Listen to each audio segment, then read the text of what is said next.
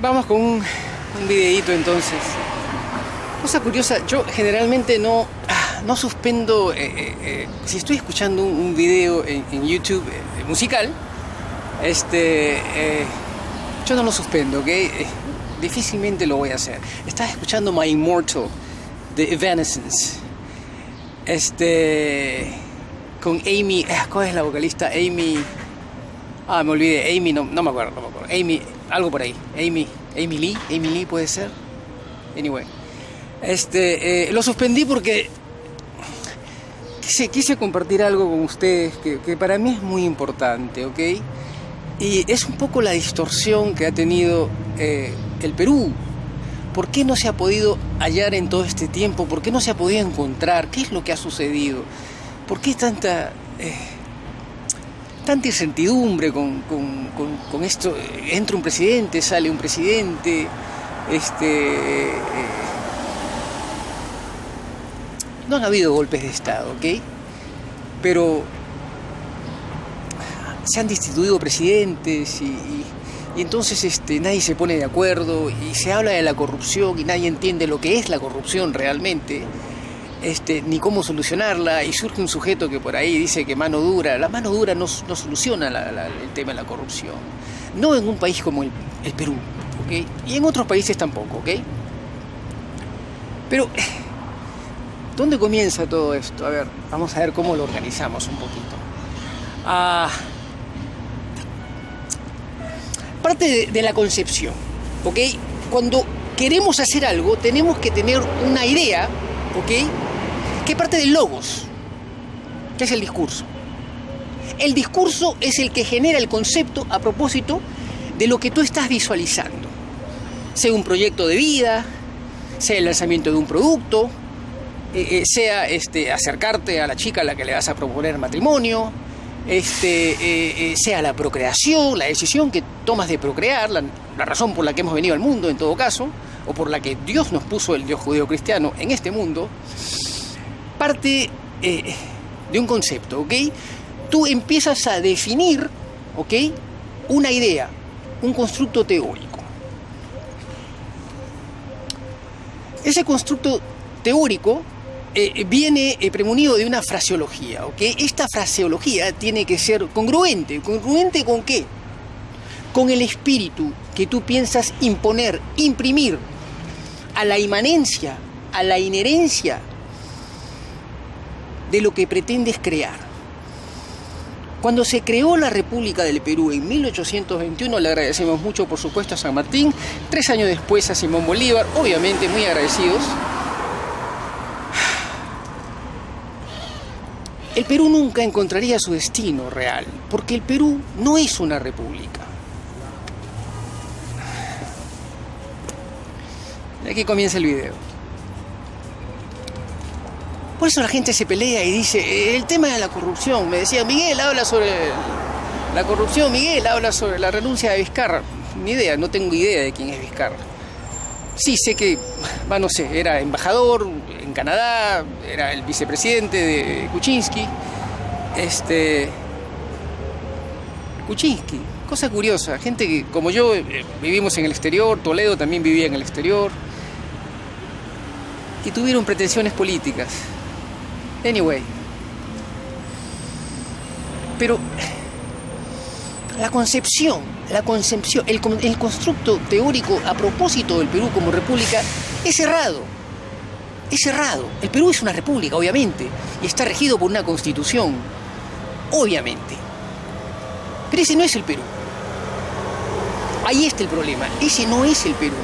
Ahora, mucha gente se pregunta, mucha gente se pregunta, ¿por qué el Perú siendo un, un país sin ningún tipo de ventajas en todo caso. Porque, vamos, no nos conoce nadie. Pero nuestra comida, nuestra gastronomía es conocida. ¿Por qué es conocida? Ya se los expliqué alguna vez, pero hay, un, hay algo de fondo, hay algo más de fondo que se los voy a explicar ahora, ¿ok? Entonces, les decía que cuando se define el concepto del Perú y se parte a partir de una república, es errado, es errado nosotros somos algo que no es ni, ni, el Uruguay ni la Argentina, ni Chile, ni Brasil, ni Venezuela, ni Colombia, por ahí un poquito de Ecuador y un poquito de Bolivia, ¿ok? Nosotros somos un imperio. Nosotros somos un imperio. De la misma manera, México es un imperio. Esa es la razón por la que la comida china, que es un imperio, es la número uno. Esa es la razón por la que la comida italiana, que es un imperio, es la número dos. Son imperios. Son imperios. Todos los países que son imperios están arriba en su gastronomía. Y ahora se los voy a explicar por qué. Entonces, la concepción del Perú es errada. Se parte de una... Y está bien, somos una república. Está bien, correcto, porque es así como fue concebida en 1821. Pero entonces nos encontramos con un problema porque esto genera muchas distorsiones muchas distorsiones y después no nos, no nos hemos podido encontrar. Al no encontrarnos, no hemos encontrado la solución a nuestros problemas. Y después nos encontramos en, a comienzos de la década de los 80 con un terrible problema, el terrorismo.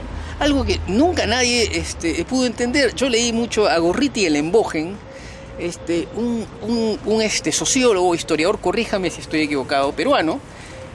No estoy seguro, creo que de la Universidad de Princeton, no estoy seguro, ¿ok?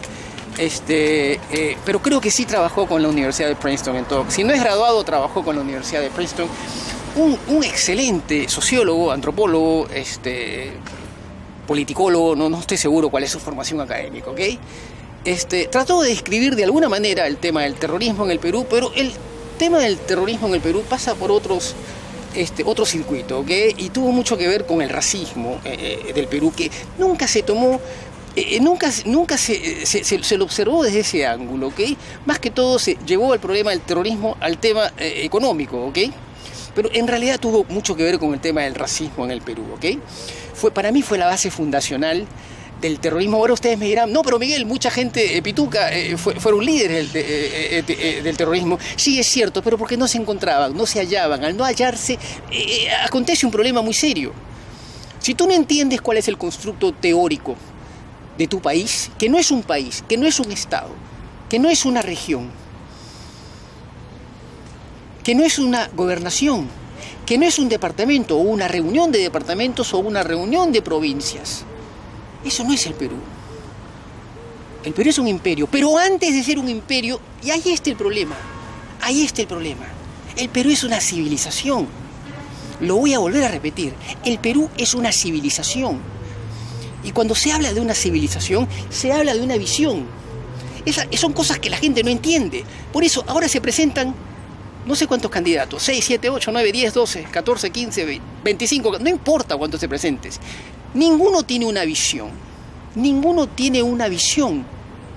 Para presentarte a la casa de Pizarro, lo segundo, lo tercero que tienes que exponer es defensa nacional. Nadie entiende de defensa nacional porque no les interesa, porque te tiene que nacer te tiene que nacer. Y ahí está el porqué de la estructura de tu mente.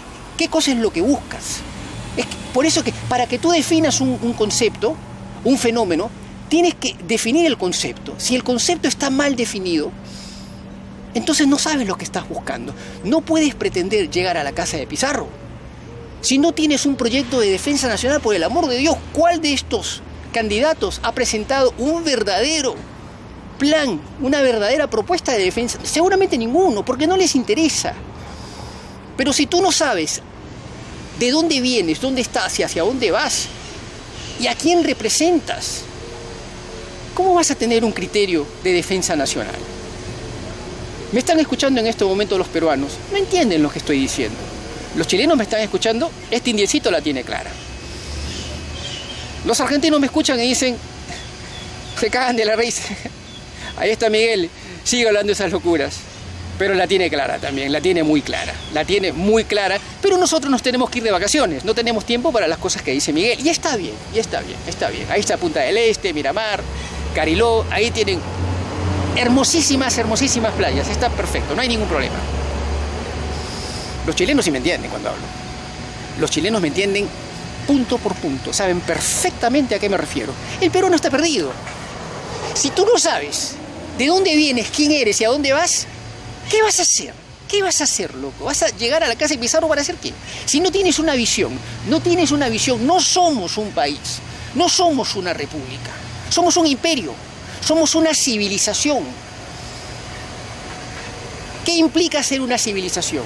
Es algo que no puede ser ni la Argentina, que no puede ser menos Chile, menos el Uruguay.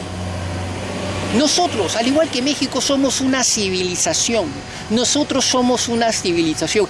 Esa es la razón por la que nuestra comida está allá arriba, arriba, en el quinto lugar. La gente me dice, Miguel, ¿por qué no pusiste en el quinto lugar? Porque tenemos el quinto lugar, loco. Punto. Estadísticas, macho. Es así de simple. Gracias a los inmigrantes peruanos. Gracias a los inmigrantes peruanos que viajaron a New Jersey, que viajaron a Nueva York, a Connecticut, Virginia, Baltimore, Maryland, aquí también Miami. Bueno, este es Miami Beach, pero condado de Miami Dade, Los Ángeles. No a los que pretenden decir por ahí, gracias a mí, no, gracias a ti no, loco. Gracias a los inmigrantes peruanos que salieron huyendo del terrorismo, ¿ok?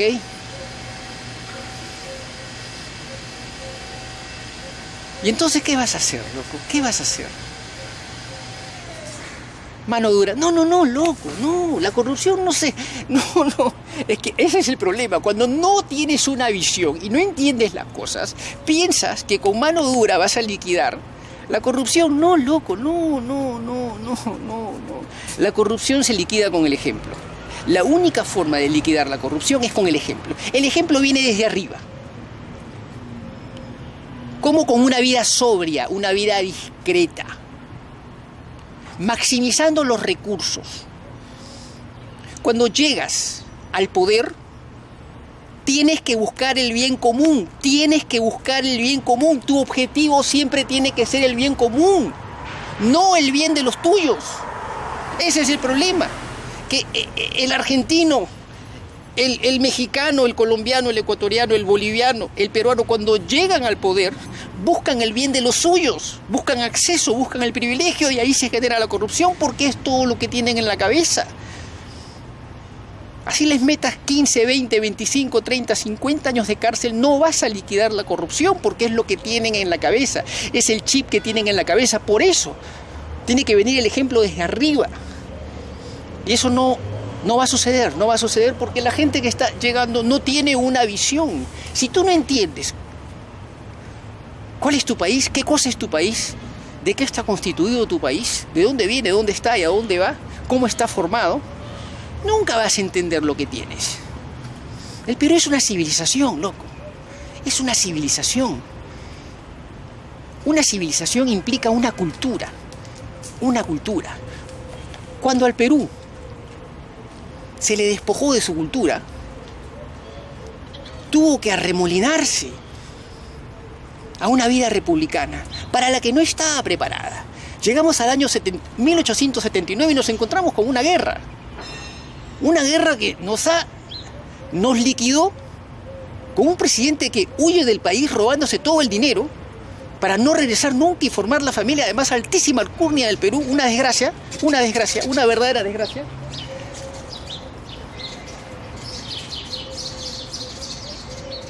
Para después de fracaso ir de fracaso, de fracaso en fracaso. No somos una república, loco. Somos un imperio. Somos un imperio, somos una civilización. Ahora bien, en el imperio, que es una civilización, el jefe de la familia es el rey. El jefe de la familia es la reina. Si el Perú no vuelve a sus raíces, que es una de mis propuestas, de manera simbólica, por el amor de Dios, por el amor de Dios, la gente que entiende de estas cosas, loco. Por favor, por favor, entiéndanme, por favor. De manera simbólica, el Perú tiene que recuperar su vigencia de imperio, de manera simbólica, simbólica, simbólica. Tiene que ser una familia que tenga de inga y de mandinga pero que esté enlazada con la realeza europea. Hay tres, cuatro, cinco familias en el Perú y que tienen que asumir, con el número 14 por supuesto, Estas son cosas que yo nunca he escamoteado, que siempre, siempre de manera transparente se las he compartido. El Perú perdió, perdió su inherencia, su inmanencia de imperio.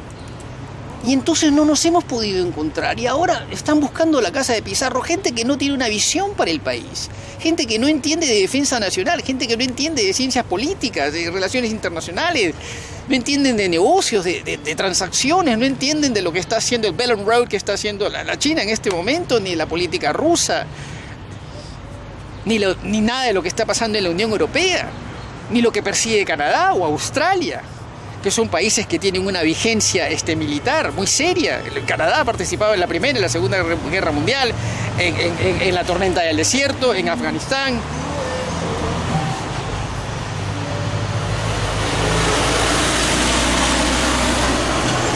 El Perú puede hacer todo eso, ¿ok?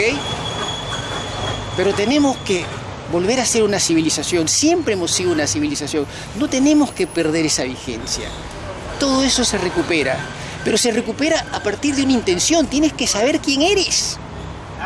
El peruano me está, me está escuchando y me dice, Miguel, tú eres un imbécil. El chileno me escucha, este indiecito la tiene clara. Este indiecito la tiene clara.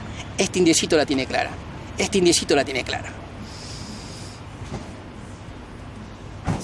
Somos una civilización, como México. México también es una civilización. No es casualidad que estemos ahí, en la punta del cerro, loco, en gastronomía. Porque somos una civilización. La parrilla argentina es lo más rico que puede haber. Yo he comido la parrilla este, americana, la he comido en Fort Worth, en Texas, en, un farm, ¿ok? En, una hacienda, loco, con cowboys de verdad. Riquísima la parrilla eh, americana, lo mejor que ustedes se pueden imaginar, Una cosa pero espectacular. No se compara a la parrilla argentina. La parrilla argentina es una cosa espectacular, una cosa monstruosa la mejor parrilla del mundo. No son una civilización. Nunca van a ser una civilización. Menos si están pensando todo el día en irse de vacaciones, peor todavía. El Perú es una civilización. México es una civilización. El Perú tiene que volver a sus raíces, pero de manera simbólica. De manera simbólica. Tiene que recuperar el estatus que Dios le confirió. Dios permitió que en esa región emergiera una civilización.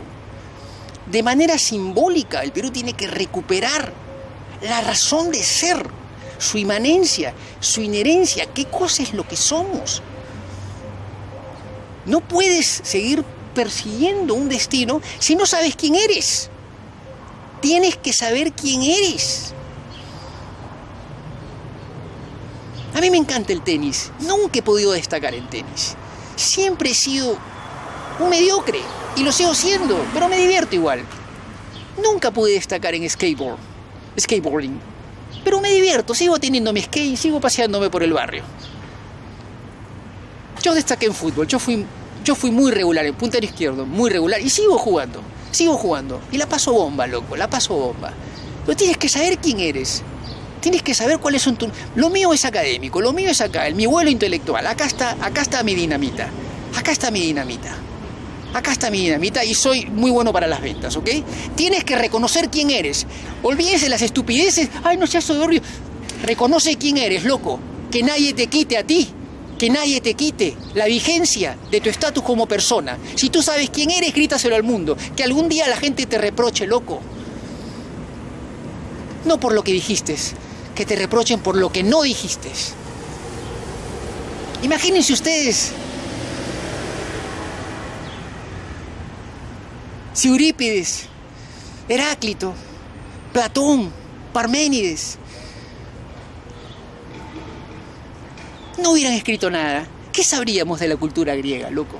¿Qué sabríamos de la cultura griega? Esa fue la gente que habló. Esa fue la gente que habló. Esa gente, esa, esa gente habló y es por ellos que hoy tenemos nosotros toda esa cultura que podemos absorber en las universidades o en la lectura particular, que es lo que me corresponde a mí, más que todo yo leo de manera particular. También leí en la universidad. Nada, nada, nada, nada, nada trascendente en realidad.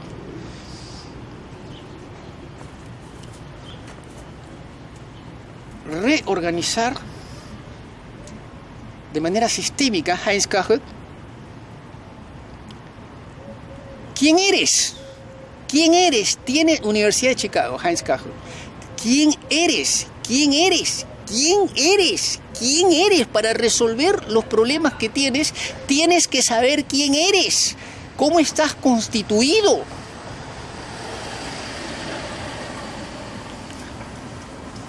Ahí lo dejo, loco. Yo soy Miguel, desde South Beach, Florida. Adiós, chao, chao.